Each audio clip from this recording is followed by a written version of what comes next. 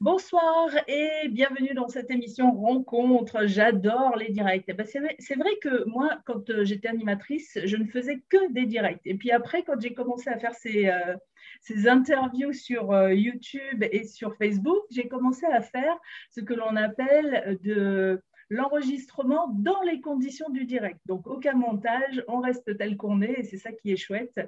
Et euh, je suis ravie que euh, pour ce direct, ce soir, je sois avec euh, Sabine et que vous soyez avec Sabine.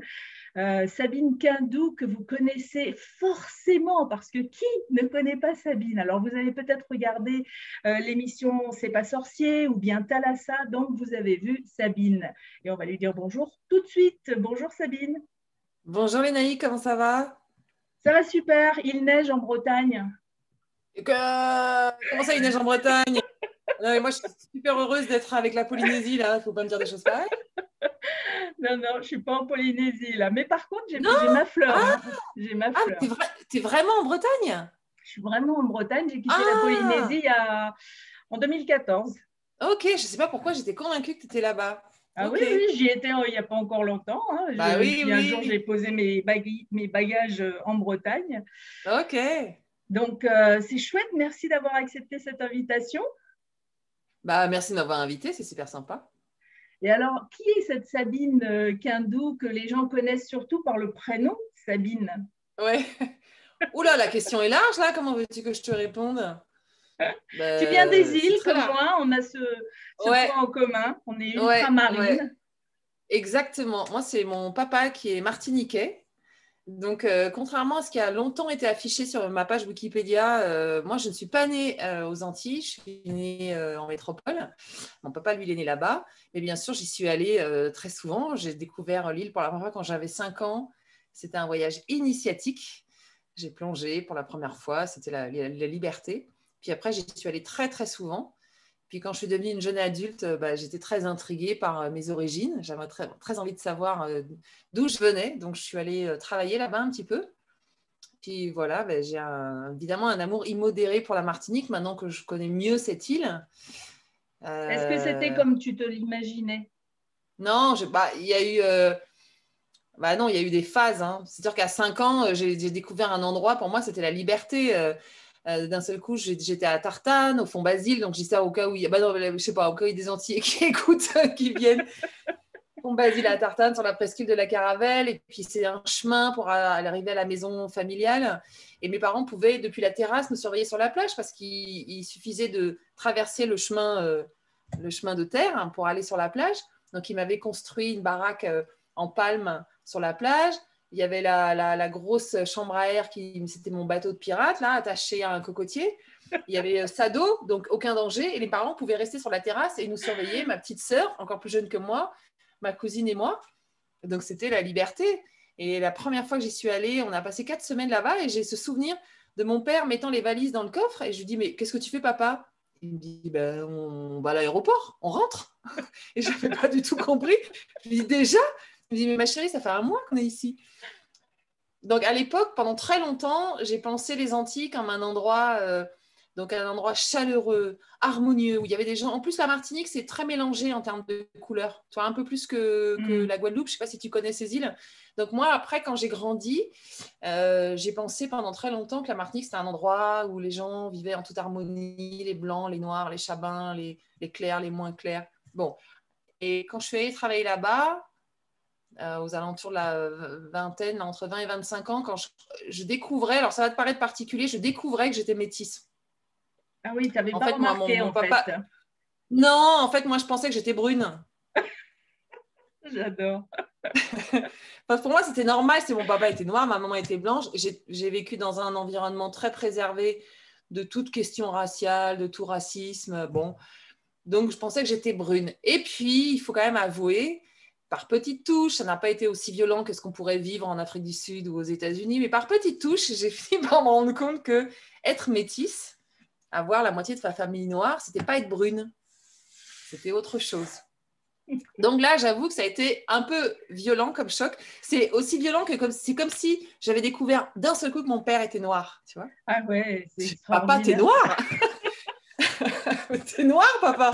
Papy, t'es noir aussi. Donc là, d'un seul coup, c'était, c'était, si tu veux, ça a correspondu à un moment où j'ai, j'ai dû passer, passer plusieurs mois en Martinique. Et là, d'un seul coup, les gens là-bas parlaient en termes de couleurs. Il y avait le chabin, celui qui était clair, celui qui était moins clair. C'était compliqué avec mes cousins, mes tantes. Il y a ceux qui adoraient que je sois à peau claire euh, en arrivant, ceux qui se désespéraient parce que j'avais bronzé. Au niveau identitaire, quand on est jeune, c'est pas, pas facile. Non, hein. c'était un peu complexe. C'était un peu complexe, ouais. Mes grandes tantes qui me disaient Ah, t'es allée à la plage, t'étais tout chat. Bon, qu'est-ce que c'est?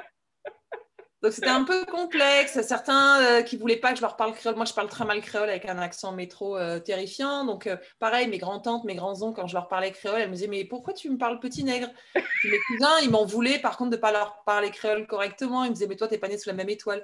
Et peu de temps après mon voyage, je suis passée directement de la Martinique à Moscou parce que j'avais un voyage d'études. Je suis allée à Moscou. Et alors si tu vas à Moscou, j'ai découvert le racisme clairement, net, précis, mhm. voilà. Et donc c'était très bizarre à Moscou. J'étais avec un copain étudiant comme moi, métro, blanc.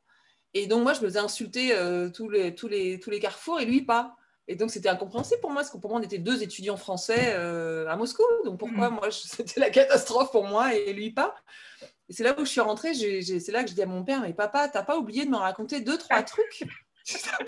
Il y a, de me préparer, me préparer à la vie. il, y a, il y a des il y a des petites choses que tu que tu m'as pas dites, voilà. Et sûrement que je faisais partie de cette famille d'antillais. Si tu veux, mon grand-père, il est arrivé en métropole, euh, il est resté en métropole après la, Seconde Guerre mondiale.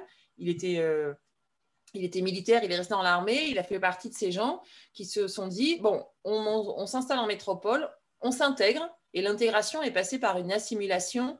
On oublie tout, quoi. Ah on oublie. Euh, c'est une acculturation complète. Voilà, acculturation complète. On parle plus créole, euh, on oublie tout ça. Et des années, des années après, quand j'ai redécouvert d'où je venais, que je me disais, mais là, il y a des trous dans l'histoire, je comprends pas. Et que j'ai voulu parler avec mon grand-père, il était terrifié quand j'ai dit, mais papy, excuse-moi, mais là, il y a des, il y a des, il y a, des trucs qui manquent dans l'histoire, là. Et mon grand-père, il me disait, oh là là, euh, c'est pas bon pour ta carrière, ne te préoccupe pas de toutes ces questions-là. Il était, alors que moi je disais, non mais je veux juste savoir d'où je viens, je veux juste que tu me racontes. C'était quoi la Martinique pour toi, pour que, comment tu es venu ici, qu'est-ce qui s'est passé, est-ce que ça a été facile, pas facile? Tu peux juste me raconter? Je suis contente d'être en France, je suis contente d'être française, il y a aucun problème, j'ai pas de conflit. Je veux juste savoir, papy. Et il voulait pas m'en parler. Est-ce que, maintenant, est que depuis ils en parlent mieux? Est-ce que la famille Non. Euh, pas tellement en fait. C'est comme, encore, comme encore un peu un, tabou. Non, beaucoup moins maintenant quand même, beaucoup moins avec mon papa notamment, parce que du coup, euh, j'ai bien été obligée de lui demander à un moment, j'ai mais tu m'as dit, euh, quand papy il était militaire, euh, qu'il était à Madagascar et que toi tu étais en pension en France, raconte-moi, c'était comment la pension? Il a fini par m'avouer, bon, bah, le premier jour, je cassais la gueule à tout le monde parce que j'étais le bamboula de service, puis après, ça allait bien. Et, mais je pense que je connais mieux les Antilles que lui maintenant. Hmm où il est pourtant né, hein, il est né là-bas, il a, vécu les cinq premières années de sa vie là-bas, mais je pense que du coup, il y a eu un moment où j'ai mieux connu les Antilles que lui, parce que du coup, moi, ça m'a intrigué, je voulais comprendre euh, l'histoire, qu'est-ce qui se passe, je suis allée là-bas souvent, je suis allée y travailler. C'est pas pareil quand on est à la recherche de sa propre histoire, plutôt que quand on l'impose, par exemple, à l'école ou dans les histoires de famille, on on n'a pas la la même euh, envie d'apprendre bah, euh, Là, moi, j'ai tout redécouvert. Hein. Et du coup, en, découvrant, si tu veux, en découvrant l'histoire de ma famille, je redécouvrais l'histoire, euh, bah, je vais dire, de mon île, même si par respect pour les Antillais nés là-bas, bon, je sais bien qu'il y a une différence, mais quand même, c'est mon île. Et puis, on est quand même dans un monde. Après, je ne veux pas faire du France bashing. Hein. Je veux qu'on soit clair. En tant que femme, et que femme, on va dire, racisée, je suis extrêmement heureuse d'être née en France. Franchement, hein, je préfère être née là que, je pense, euh, partout ailleurs, sauf peut-être euh, en, Polynésie. Non, mais tu vois, on n'est pas en Inde, on n'est pas aux États-Unis, dans les États du Sud.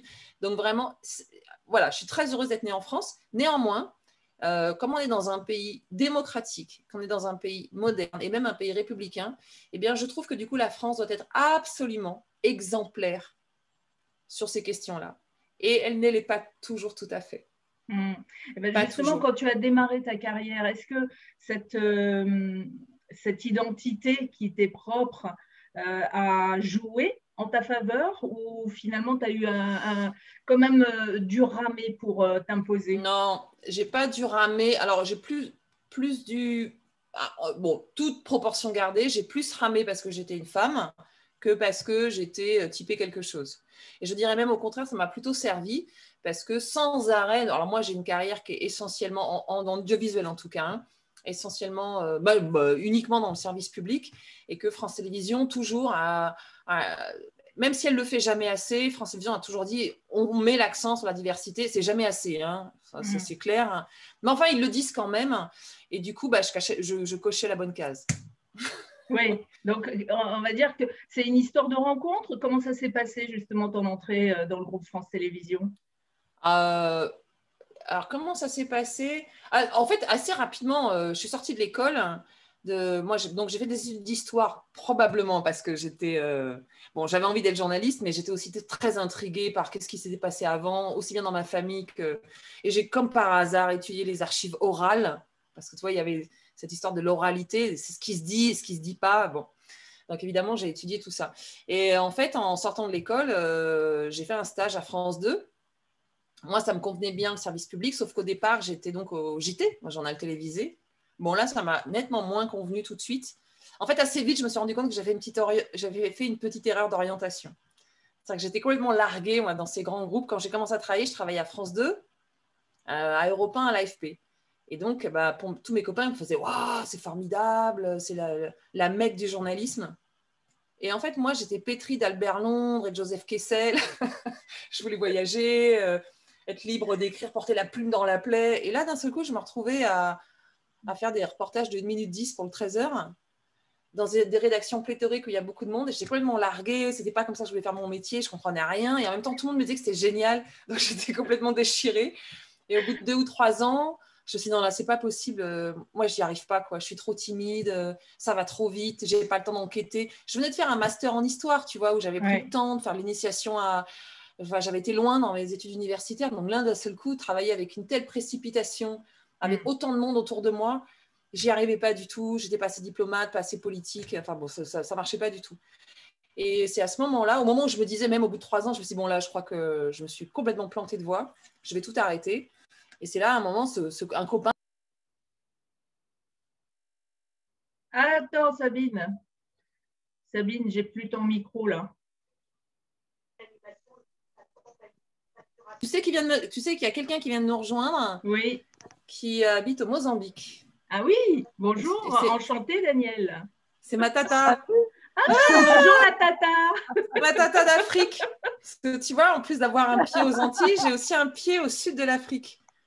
Merveilleux. Et en voulant euh, couper le micro de, Tata, eh bien c'est toi, c'est ton micro que j'ai coupé. D'accord. bon bah Daniel, on vient de commencer. On était en train de raconter les débuts euh, de Sabine, notamment quand elle est rentrée dans le groupe France Télévisions. Et puis, euh, et puis donc je t'ai interrompu. Vas-y, continue Sabine. Bah, je venais d'arriver, voilà, je, viens d'arriver à C'est pas sorcier là, j'en suis là de mon récit.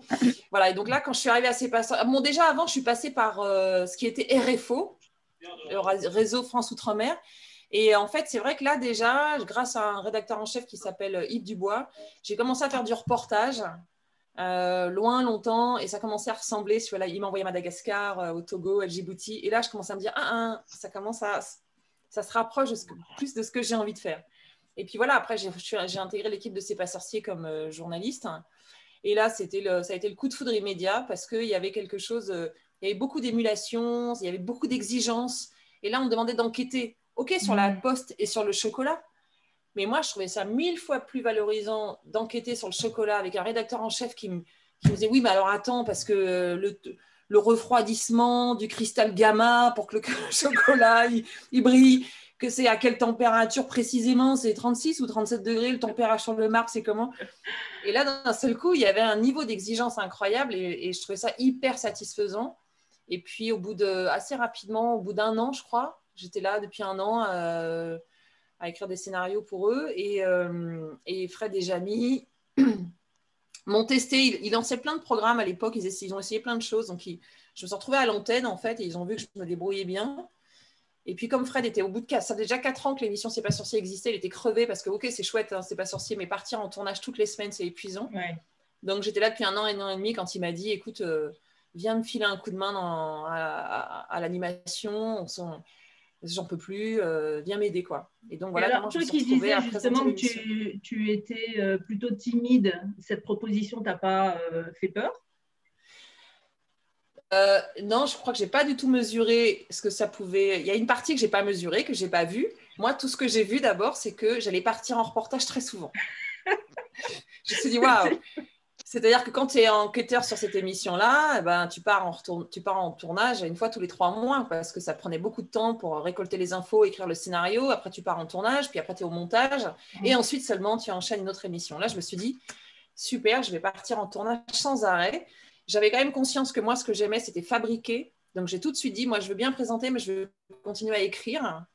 Il se trouve que dans cette émission, tu ne peux pas la présenter sans être très... Euh, sans être très très impliqué dans le processus mm. d'écriture parce que si tu comprends pas ce que tu racontes ça. Euh, ça marche pas du tout hein, ça, ne fonctionne pas et euh, donc c'était ça c'était partir en tournage alors et au niveau de la timidité en fait ce qui s'est passé c'est il y a eu quelque chose d'assez en fait maintenant je me rends compte parce que bah, j'ai un peu de bouteille mais en fait je pense que j'aimais bien déjà jouer la comédie et performer et donc, c'est comme pour les rockstars. Il y a des rockstars, tu sais, bon, je, la, la, comparaison, bon, vous, me passerez euh, la précision. Il y en a qui sont très timides. Si tu veux, quand j'étais en tournage, je mettais mon costume de la fille de C'est pas sorcier. Et là, je pouvais m'autoriser à être rigolote, euh, faire un peu le clown. Euh, je pouvais m'autoriser à performer, à jouer la comédie. Mm. Et du coup, je gardais ce petit, ce costume, je le gardais pendant le tournage, pendant les prises, mais je pouvais même le garder après, avant, tu vois, avec les gens qui étaient là avec nous, avec l'équipe. Donc, c'était trois jours de bulle où j'étais la fille de C'est pas sorcier. Très pratique, très commode. C'est vrai que c'est. Ça m'empêchait pas d'être timide. Mm. Parce qu'en dehors de ça, quand tu enlevais ton costume de C'est pas sorcier, justement, on retrouvait, euh, tu retrouvais la Sabine timide. Euh, presque... Ah bah oui, tout de suite. Euh, oui, oui, ah oui, oui. Après, j'étais très timide. Après, il y a eu des fastidies quand je montais après, si tu veux, ce qui était sur cette émission-là, par exemple, donc c'était la première fois que je travaillais côte côte avec des réalisateurs, et en fait, j'ai adoré leur métier. Et là, je me suis rendu compte que c'était ça, en fait, que je, si j'avais si j'avais eu plus de culture de mon propre métier, je me suis rendu compte que je voulais être réalisateur et même documentariste, et qu'en fait, à bien y regarder, Joseph Kessel, Albert Londres étaient probablement plus des documentaristes que des journalistes. C'était pas des passeurs d'infos, c'était des passeurs de connaissances liées à la fiction. Parce que finalement, dans un sens, je fais aujourd'hui sur scène avec la musique.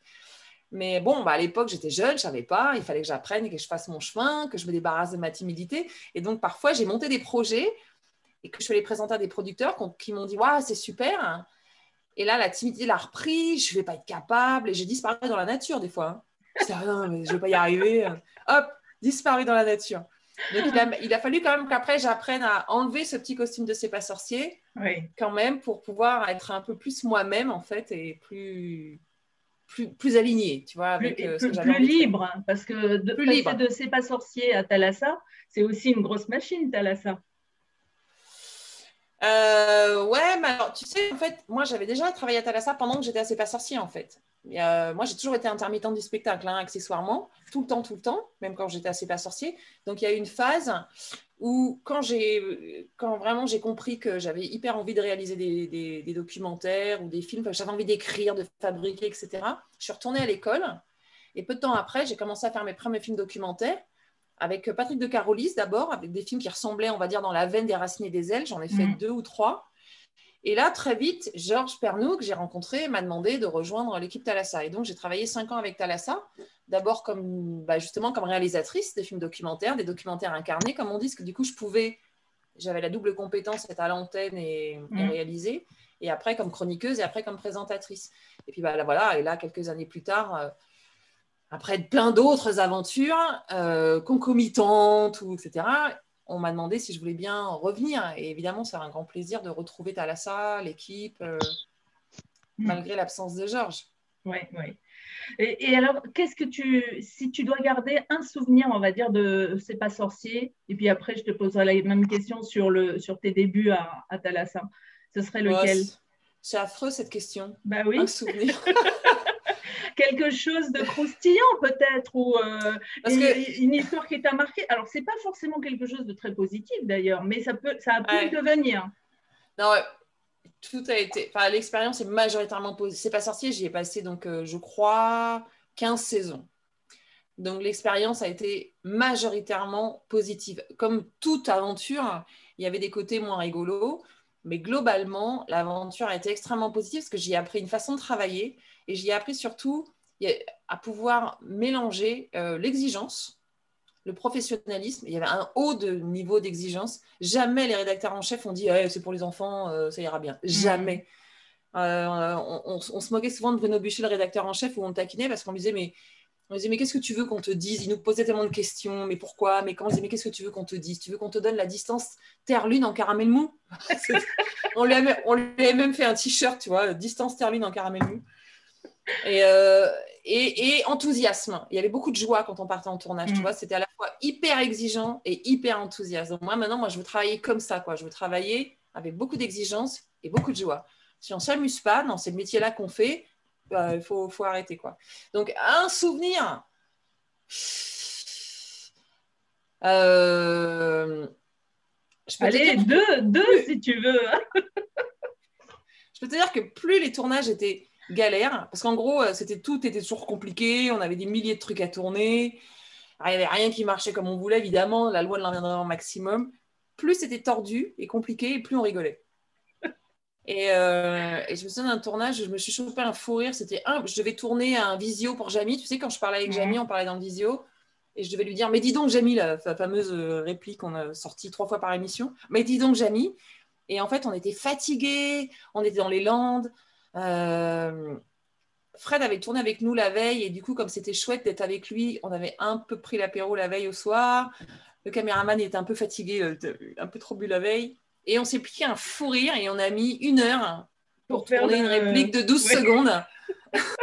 et dis donc, Jamie, on n'y arrivait pas, quoi. Il pleuvait, enfin bon, on était super, on avait trois heures de retard sur le plan de travail, mais on rigolait comme des baleines. Ah, c'est génial ces débuts de carrière justement avec des gens qui sont très exigeants parce qu'aujourd'hui, si quelqu'un euh, voulait démarrer euh, dans le métier, qu'est-ce que tu lui euh, dirais? Ah bah, Je dirais ça. Alors, je dirais, vérifie tes sources. Parce que c'est sûr que moi, quand j'ai commencé à travailler, dans un sens, alors je vais te tenir un discours de dinosaure. Euh, les premiers portages à l'étranger que j'ai fait, j'étais donc pour RFO, eh ben, j'allais à la maison de la radio, au centre de documentation, chercher des infos. Et, euh, et, maintenant, on est sur Internet. Hmm. Avec ce souci que bah, parfois, euh, même des jeunes journalistes avec qui je travaille, des, des, fois, je me dis, mais les gars, il faut vérifier vos sources. quoi. Qu'est-ce que c'est qu'une source primaire? Qu'est-ce que c'est qu'une source secondaire? On ne peut pas écrire, par exemple, euh, le Mont Blanc a atteint 4810 mètres selon le monde. Non, c'est pas le monde qui mesure la haute. Je l'ai lu dans le monde. Oui, mais c'est, et c'est sûrement un très bon journal, mais c'est pas dans le monde. C'est pas le monde qui a calculé. C'est, probablement les GPN. Tu vois, donc va vérifier. donc, je dirais à des journalistes, vérifiez vos sources, soyez intransigeants, soignez les détails et travailler avec beaucoup de joie parce qu'on fait des jobs qui sont euh, d'enfer. On a beaucoup de chance de faire ces métiers-là, donc euh, travailler dans la joie. Et s'il n'y a pas de joie, partez, changez. Et alors justement, comment toi tu perçois l'actualité aujourd'hui? Les bah, informations qui circulent, ah euh, voilà. Est-ce que tu n'as pas l'impression que là, on a oublié une des règles essentielles de vérifier les sources? Ah, Si tu veux, non, mais euh, le truc, c'est que moi, je, sais quand même comment ils travaillent. Donc, je ne peux pas incriminer les petites jeunes qui sont sur le terrain, à qui on demande de faire, par exemple, sur les chaînes de toute info comme BFM TV, on leur demande d'assumer 47 000 directs dans la journée. Euh, donc, ils font ce qu'ils peuvent, du mieux qu'ils peuvent. Mais c'est clair qu'il y a une pression pour euh, aller vite, être à l'antenne, faire un petit peu de buzz. Donc, les vérifications, elles sont un peu rapides. Quoi. Genre, c'est dit dans l'AFP, donc c'est bon. Voilà, l'AFP a mm. dit que. Alors, par ailleurs, on peut faire confiance à l'AFP. Pour le coup, c'est une boîte super sérieuse. Mais ça, du coup, ça pose un autre problème, celui de la pluralité des sources et du pluralisme de l'info. Parce que si du coup, tu ne fais que consommer de l'AFP, plus ou moins mm. déguisé, tu n'as pas, pas gagné non plus en termes de, démocratie. quoi. Mm. Donc, bah oui, évidemment je suis assez sceptique sur, euh, les toutes infos. Euh, et, il y a évidemment l'émergence des réseaux sociaux avec la, diffusion maintenant ultra virale et mondiale des fake news. Waouh, là tu fais, dis donc, euh, c'est quelque chose. Donc je ne peux que inviter notamment les plus jeunes à être super vigilants. C'est-à-dire que là où nous, quand on se documentait, on prenait des livres. Tu vois, on allait à la bibliothèque, on demandait des livres. Et donc il y avait une hiérarchie de l'info tu lisais le livre le plus important en premier, tu savais où tu avais lu tel tu dis ça, on dirait que c'était un truc de dinosaure, là. Enfin... Bah, c'est vrai que c'est un truc de dinosaure, en même temps, c'était il n'y a pas si longtemps que ça, parce que c'est allé super vite. C'est allé super vite. Mais, euh, ouais, en même temps, c'est un truc de dinosaure. Ouais. Aujourd'hui, tu fais clic, clic, clic sur Internet, ce que je trouve génial. Hein. Franchement, tu as accès à plein d'infos, donc il y a un truc qui est fabuleux. Mm. Mais il faut absolument regarder qu'est-ce que c'est que ce site, qui est-ce qui est derrière, qui est-ce qui l'a fait. Donc, il faut faire ce travail-là impérativement, parce que du coup, tu as des bouts d'infos, tu sais plus d'où ça vient. Euh, donc oui, bah, je me dis qu'il faut être extrêmement vigilant, hein, bien sûr. Il faut apprendre ces outils-là, mais ils ont que 10 ans. Écoute, là, j'ai relu, je viens de lire le premier tome des mémoires d'Obama une terre promise. Mhm. Et il explique quand il a mené sa campagne pour être élu président la première fois, c'était en 2008. Et à l'époque, c'était nouveau d'utiliser les réseaux sociaux pour euh, notamment recevoir des dons de la part d'adhérents de, lambda, tu vois. Et il a mené ça. Il avait, il avait quelques gros donateurs, mais surtout, il avait plein de petits donateurs. Et à coup de, dizaines et de centaines de dollars, il s'est retrouvé avec une fortune pour pouvoir monter euh, sa campagne. Et il dit c'était nouveau, et on était en 2008. T'imagines? C'est vrai que c'était il n'y a pas longtemps. C'était il n'y a pas si longtemps que ça, quoi. Donc, vigilance, vigilance, vigilance, quoi. Et alors, c'est quoi cette aventure de, du magazine Inspire? Ah, ça n'existe plus, hein. ça existait qu'une seule saison. Bah, euh, c'était une avant. Ouais. C'était, euh, ça a été initié par, euh, par France 3 Rhône-Alpes, parce que moi j'habite à Lyon maintenant, je suis plus à Paris.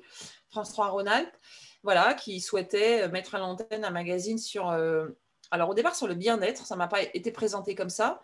Et après, j'avais proposé une toute petite modification, c'est que ce soit bien-être sans bien-être et développement personnel.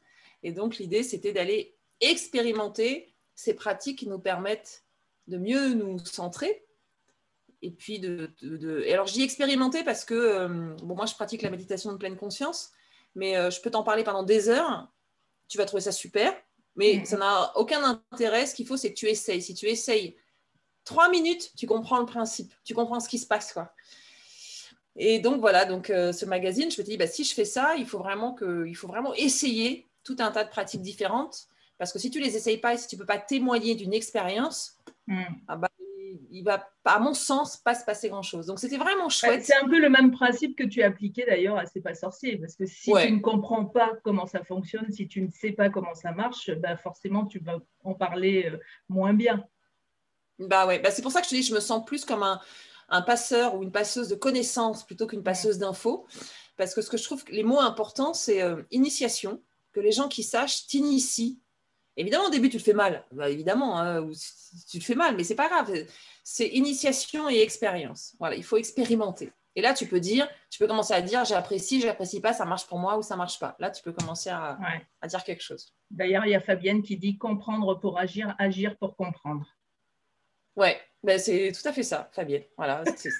sinon, tu es, tu, tu es pas dans, pas dans la, dans la, compréhension, pas dans l'appréhension, quoi. Voilà, moi, je trouve que c'est mm. bien d'être dans l'appréhension plutôt que la compréhension.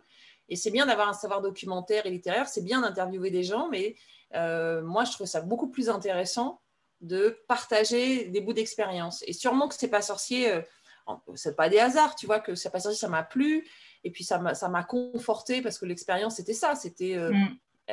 être sur le terrain, les pieds dans la boue, je sais pas, en plongée avec les scientifiques pour être, comprendre réellement ce qui, ce qui se passait, quoi. Oui. tu donnes aussi cette touche dans ton émission pour comprendre les instruments de musique? Ah, la petite série, les, petits secrets des instruments. Ouais.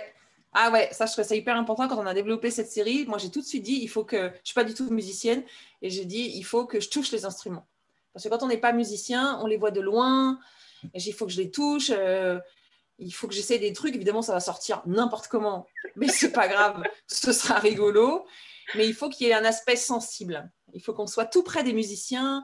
Et puis ça les met en valeur aussi, du coup, parce que tu mm. te rends compte quand tu as la harpe là, euh, qui pèse 10 kilos, tu l'as sur l'épaule et tu tiens mal. Euh, c'est-à-dire que moi, au bout de 10 minutes, j'avais déjà des crampes partout et je me disais, mais comment la fille, elle peut comment elle fait pour tenir une heure et demie en concert comme ça? Il y a 47 cordes, il faut qu'elle les a partitions en même temps. comment elle fait? Du coup, ça pour la rendait en plus élégante. oui, euh, bah, bien sûr, ils ont des beaux gestes comme par hasard, tu vois, ils ont des beaux gestes. Donc ouais, j'avais dit, il faut impérativement que je touche l'instrument et que je fasse un truc. Et qu'en plus de ça, faire rire les gens. Puis j'aime bien m'amuser. Hein. Donc ça, cette aventure, elle continue, contrairement à Inspire. Ouais, alors ça, si tu veux, ça relève de la grande aventure musicale. Euh, on va dire, en résumé, en 2017, j'ai fait mon premier spectacle sur scène avec un, un ensemble cuivre et percussion issu d'un orchestre symphonique. Et j'ai adapté sur scène les principes de vulgarisation de C'est pas sorcier. Adapté parce que d'un seul coup, c'était plus un film, c'était du mm. spectacle vivant. Et ça a bien pris, ma foi. ça a marché très bien. Donc, du coup, il y a eu trois autres spectacles derrière, donc quatre en tout. Des, des, des spectacles quoi, avec, euh, avec orchestre. De plus en plus gros, l'orchestre. La première fois, j'avais 12 musiciens. Après, il y avait un demi-orchestre, 50 ou 60 musiciens. Puis après, il y avait carrément tout l'orchestre, la grande formation, plus de 100 musiciens, avec l'Orchestre national de France et l'Orchestre national de Lyon. C'est les deux orchestres avec lesquels j'ai travaillé. Et là, euh, si tu veux, j'ai retrouvé tout le bonheur que j'avais eu à travailler au sein de C'est pas sorcier. Je l'ai retrouvé dans cette aventure-là, avec plein de nouveaux challenges, hein, parce qu'être réalisatrice, c'est pas être metteur en scène. Il y a des points communs, mais il y a des différences. Il a fallu mmh. que j'apprenne des nouveaux métiers, des nouvelles compétences. Il a fallu, dans un sens, que j'abandonne totalement mon petit costume justement d'animatrice de C'est pas sorcier pour devenir une vraie comédienne. C'est-à-dire j'endosse d'autres costumes, mais il faut que je les assume. Donc la démarche était super intéressante. Et, euh, et c'est de là que, bon, bah là en ce moment, on est en période où il y a bah, les salles sont fermées, donc on ne pouvait mm. plus euh, jouer sur scène. Et du coup, avec l'Orchestre national de Lyon, qui est euh, l'orchestre avec lequel j'ai vraiment commencé cette aventure, qui m'a fait confiance, juste avant Noël, on s'est dit, bon allez, on lance une web série, quelque chose qui nous permette de garder le lien avec le public, qui soit agréable à tourner pour les musiciens, où il y a beaucoup de sourires, un truc qu'on tourne cool, qu'on monte cool et qu'on diffuse cool. Et ça a donné cette série-là c'est génial. Ces aventures-là, moi, c'est quand tu le racontes, en plus, on a l'impression de le vivre aussi avec toi. Hein. donc, euh, c'est merveilleux de, vivre ça et de pouvoir transmettre ça. Comme tu dis, euh, transmettre les connaissances. Moi, j'ai un autre commun, un, autre point commun avec toi que celui d'être ultramarine. J'ai travaillé aussi à RFO, qui après, c'est devenu Polynésie première. Et puis un jour, j'ai dit, ben, je démissionne, je pars à Paris. Ah, mais ça va pas, n'importe quoi. Alors évidemment, j'ai pas trouvé de boulot à Paris, hein. ni même en Bretagne. Et puis, euh, je me suis interdit longtemps, moi, de, faire euh, des émissions de télé parce que je me disais, j'avais toujours travaillé ou pour RFO, enfin, toujours pour le groupe France Télévisions, et je me disais, je vais pas pouvoir travailler faire mon métier d'animatrice si j'ai pas euh, toute l'équipe derrière moi, c'est pas possible. Ah. voilà. et puis donc il a fallu que je me lance toute seule et ça a été une belle aventure et Aujourd'hui, tu vois, ça va faire presque un an que je fais ces émissions et je suis tellement heureuse de, t'avoir. D'ailleurs, je crois même que je t'avais aperçu une fois à Lyon parce que quand tu dis que tu es à Lyon, je, t'avais vu dans un, un troquet, un restaurant, je dis c'est elle, c'est pas elle. Est-ce que je vais oser aller lui dire bonjour, au revoir? Non, bon, j'ai rien fait, j'ai fait ah, comme pas si. Osé. Euh, non, j'ai pas osé. Mais à, Tahiti, je sais pas comment c'est en Martinique quand toi tu y vas justement et que tu es connu. Est-ce que les gens vont bien à toi euh, spontanément? À, Tahiti Tu vois, par exemple, les gens s'ils t'ont vu à la télé, euh, bah, c'est comme si tu faisais partie de la famille. Hein. Y Ah oui. Oui. Euh, non, mais ça, c'est quelque chose qui existe même en métropole, hein, parce que c'est vrai que la télé a ce site particulier que tu, es dans le salon des gens. Et je me souviens, encore une fois, je ne me compare pas du tout, hein, ça n'a rien à voir, mais je me souviens d'avoir entendu en interview Will Smith, quand même méga superstar, dire que les gens majoritairement l'appelaient Will du nom du premier rôle qu'il avait quand il. Ça commence à s'appeler. Euh, oui, le, prince, de Bel Air. Voilà. Et il disait qu'il avait eu beau tourner dans des super productions hollywoodiennes, ce qui restait en premier dans la tête des gens, c'était la série.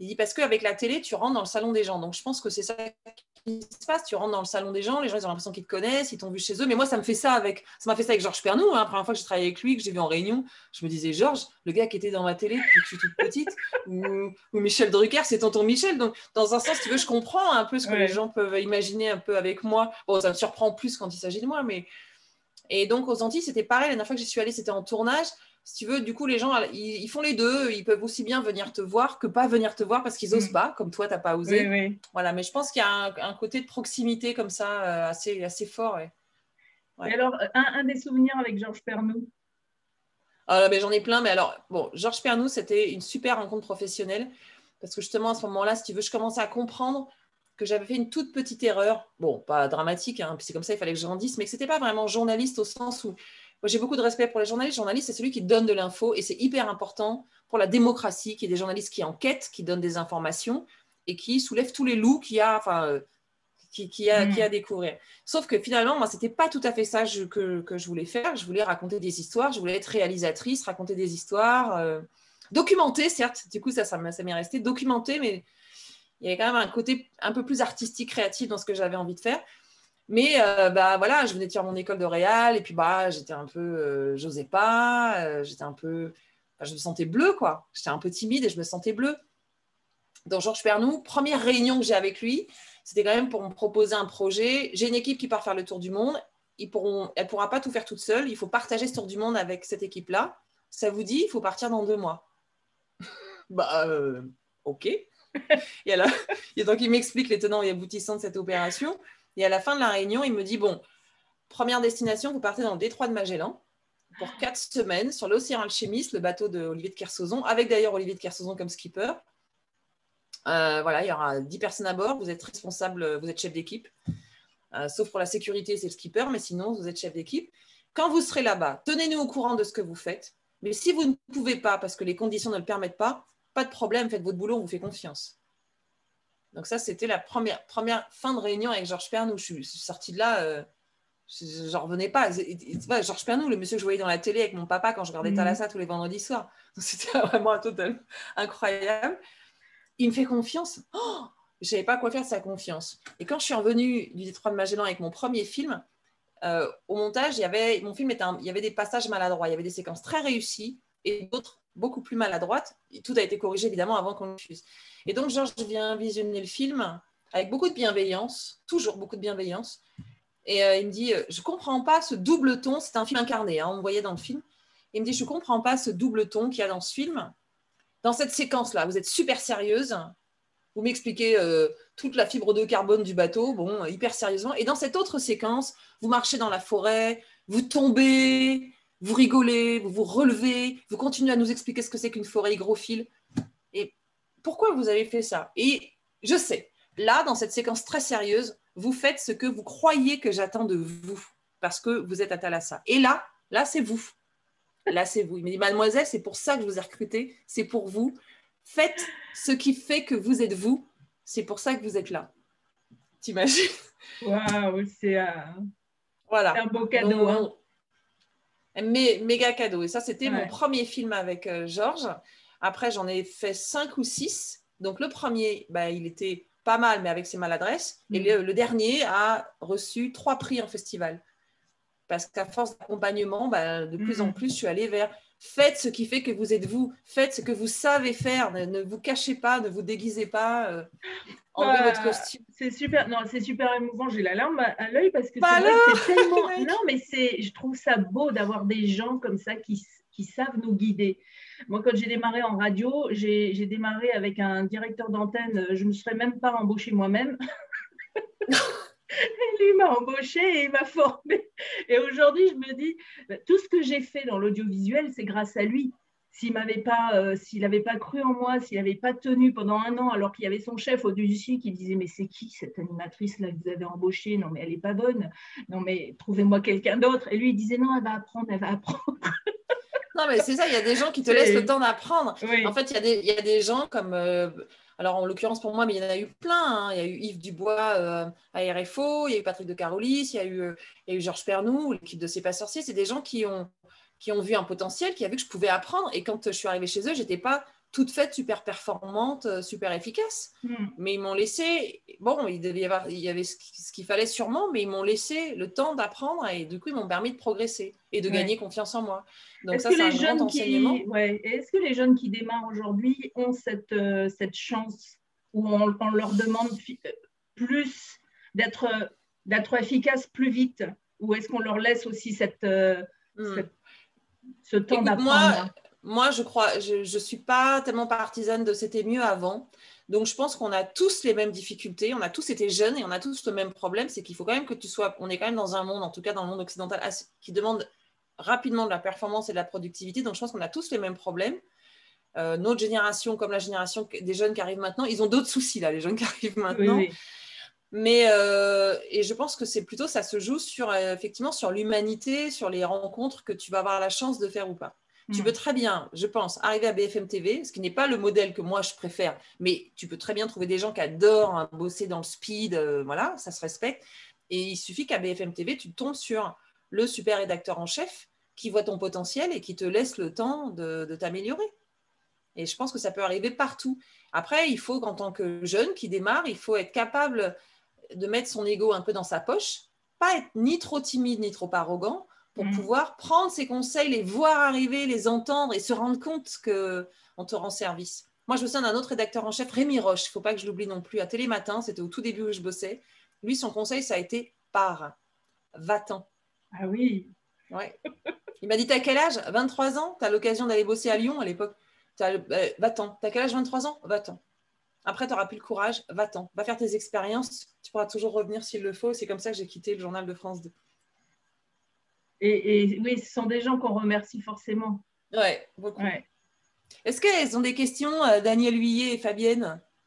Bah, Alors, Daniel Huillet, elle Fabienne, connaît tout euh, par cœur parce qu'elle m'a vu Oui, ben, Da- Daniel, je vais lui remettre euh, le micro. Daniel, tu peux remettre ton micro justement si tu as des questions. Bon, ah oui. Elle connaît l'histoire mieux que moi.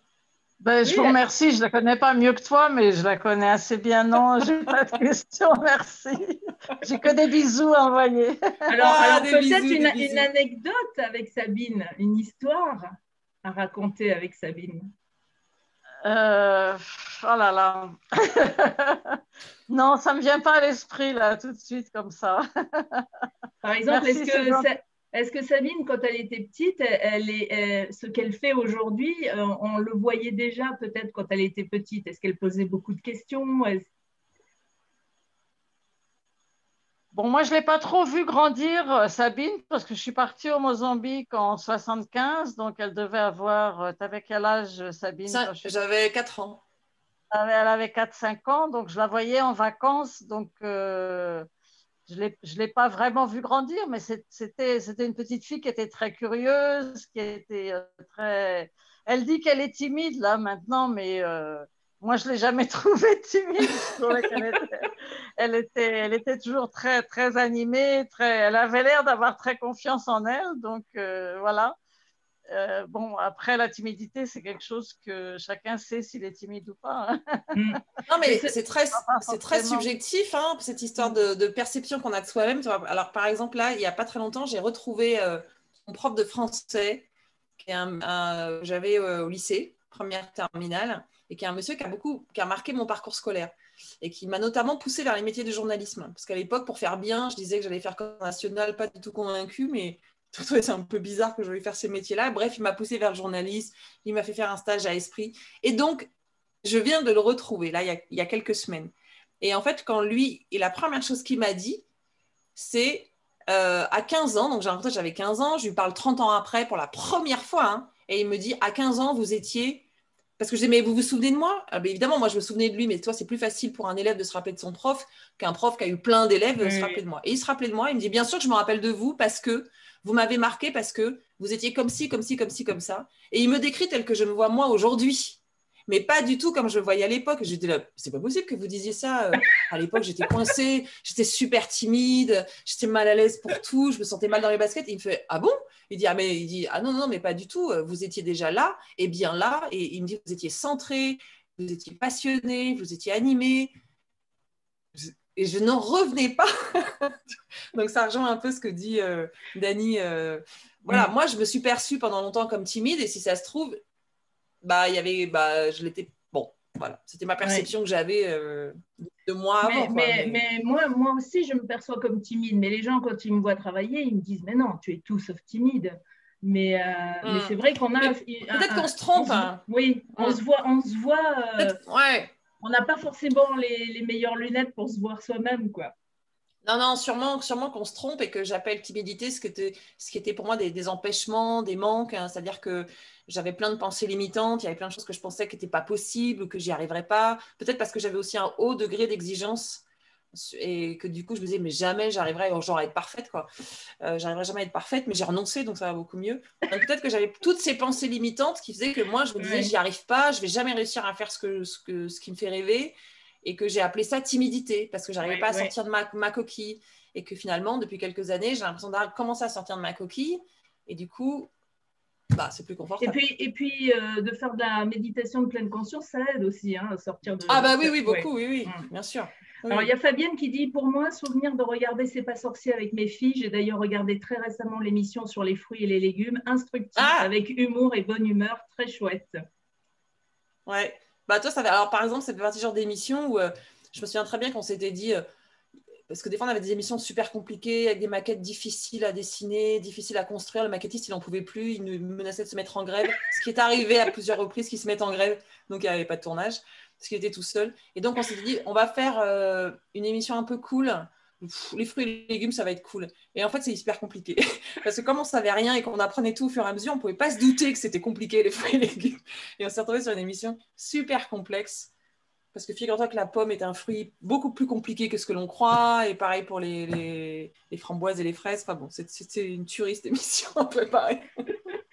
Alors Fabienne rajoute, le végétal est très complexe mais passionnant. Ben, c'est sûr. Oui, bah, bien sûr, tout est mm. passionnant après. Hein.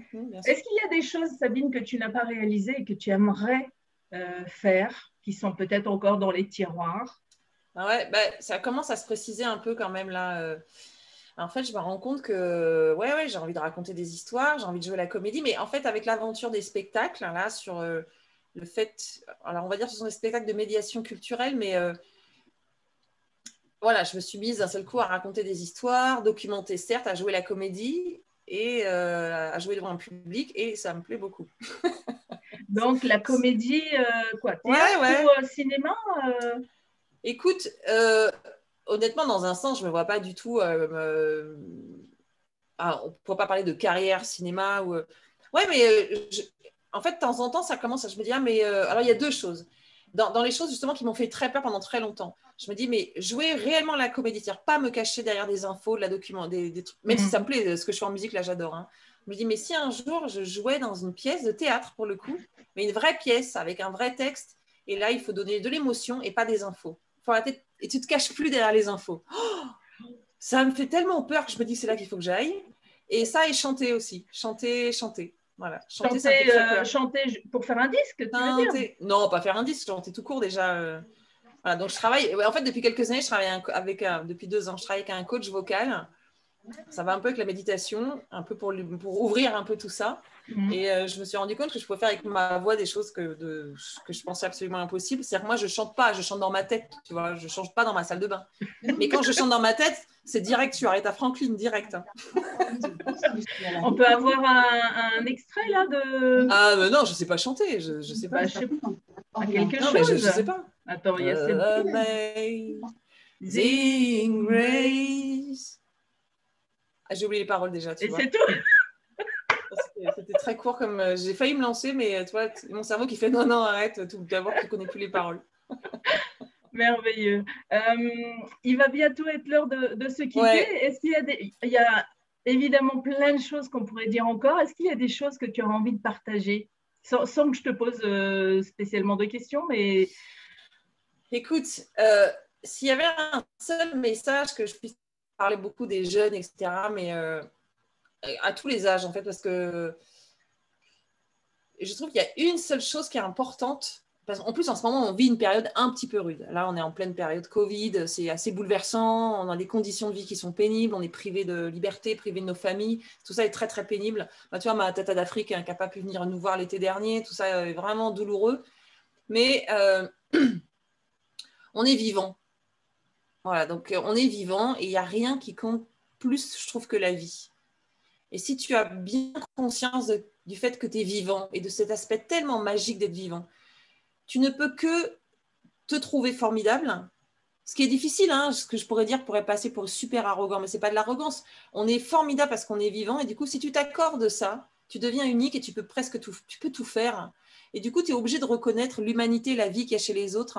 Et tu peux plus jamais pratiquer aucune forme de discrimination. C'est peut-être le seul truc qui me rend vraiment dingue je suis plutôt gay, optimiste et, toi, euh, bisounours, quoi. Mais le truc qui me rend dingue, c'est euh, toute forme de discrimination, le racisme, le genre, le... ça me rend folle, quoi, qu'on puisse maltraiter les gens, les exploiter. Donc je me dis, reconnaissez la vie qu'il y a en vous. Et si tu reconnais ça chez toi, tu ne peux que le voir chez les autres et plus jamais tu es en bisbille avec personne, quoi. Bah ça, ça, va me permettre de te demander justement comment elle t'est venue cette, euh, prise de conscience, euh, c'est, oui, cette euh, ouverture même de confiance, ça t'est venu comment? De confiance ou de conscience? Conscience, j'ai dit confiance. Ah, ouais, je non, c'est peut-être moi qui. bah, écoute, le truc, bon, je commence à en parler, toi, c'est je commence à en parler un peu. Moi, j'ai perdu ma maman très jeune.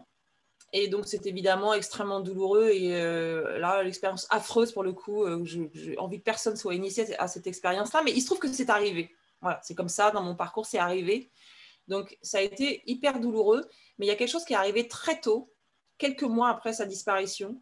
C'est cette espèce de prise de conscience qui a été nette et brutale. Donc, la mort existe. Mais si la, enfin, la mort existe. Et si la mort existe, c'est-à-dire que la vie existe aussi. Et là, j'ai commencé à avoir peur, non pas de mourir, mais de ne pas vivre avant de mourir. Hmm. Alors après, évidemment, j'étais jeune, j'avais 15 ans, tant que je comprenne ce que ça veut dire tout ça, ça a pris, j'ai pris des grands chemins, des détours, mais en tout cas, ça m'a vraiment animée. C'est une espèce de quai dire, mais moi, je veux vivre, quoi. Je veux pas, euh, je veux vivre. Je vis parce qu'un jour, ça s'arrête. Hmm. Et bon, après, ça a pris plein de chemins différents. Une, quelque chose qui était un peu rageux pendant très longtemps. Je veux vivre absolument. Ah, il faut absolument que je vive. Alors, j'ai fait des trucs pas toujours malins. Des fois, je me suis mise un peu en danger. Maintenant, c'est beaucoup plus apaisé parce que je me dis, vivre, c'est juste vivre. Il n'y a pas à vouloir vivre. Il y a juste à vivre. Mais c'est mes enfants qui m'ont aidé aussi parce que toi, les enfants, ils vivent juste, toi. Mm. Voilà. Ben, un jour, mes enfants sont arrivés et ben, je voyais qu'ils étaient juste vivants. et en parlant de transmission, justement, qu'est-ce que tu leur dis euh, sur, euh, pour qu'ils apprennent leur histoire? Euh, Pour les Antilles?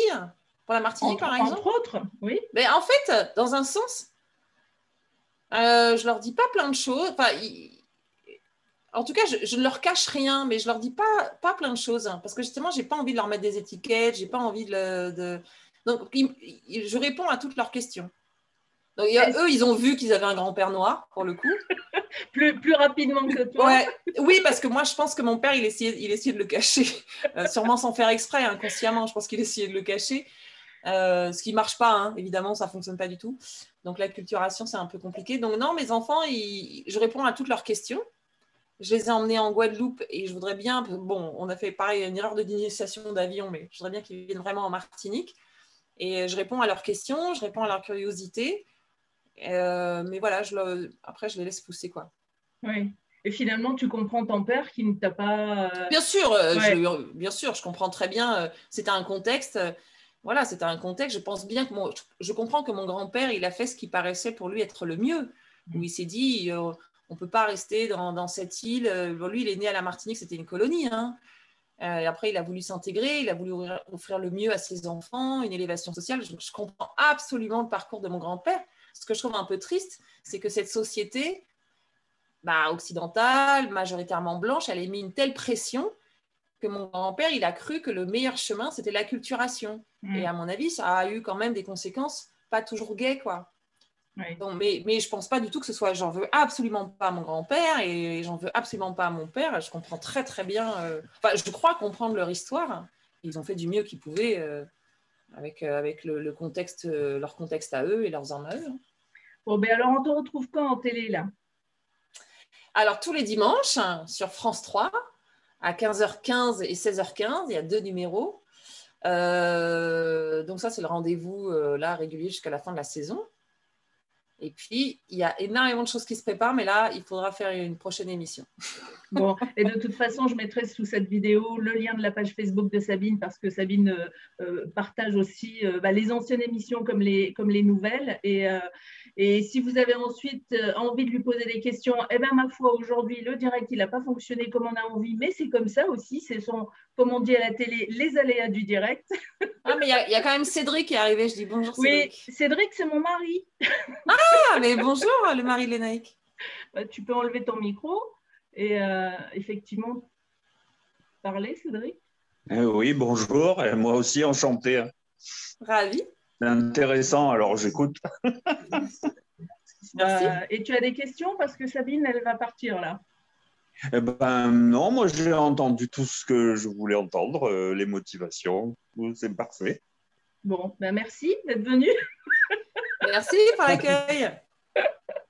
Merci, merci. Et il y a Fabienne qui dit la vie, quoi. En tout cas, merci à, Fabienne et Daniel qui ont réussi à arriver au direct malgré le fait que ça n'ait pas fonctionné sur Facebook. C'est pas grave, on va faire mieux la prochaine fois. Et puis merci bien sûr à Sabine euh, d'avoir accepté cette euh, invitation et d'avoir répondu avec euh, tellement de naturel et tellement de, de, joie euh, sur cette aventure qu'elle a vécue depuis très très longtemps dans son métier de journaliste, réalisatrice, etc. Et c'est pas fini. Et donc, euh, ben, je te souhaite bon vent, Sabine, et puis plein de bonnes choses. Plein de bonnes choses. Je vais, je vais appeler ma tata maintenant. Ah bah oui. Pour lui faire un bisou intime dans l'intimité je t'appelle Tata tout de suite. Au revoir Tata, au revoir Fabienne. Et puis bah, pour les autres, vous verrez euh, bien sûr cette émission en différé. Au revoir.